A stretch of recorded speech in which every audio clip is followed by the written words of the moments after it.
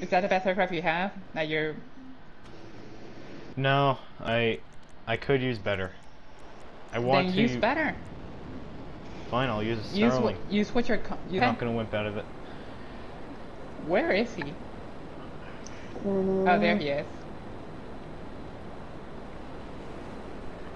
Alright, go guys. Yeah, that was a pretty tough hmm. Starling. Took a shit ton of bullets. Alright, here we go.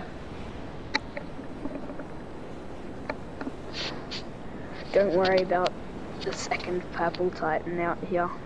I'm not using it or anything. Oh! And I lived.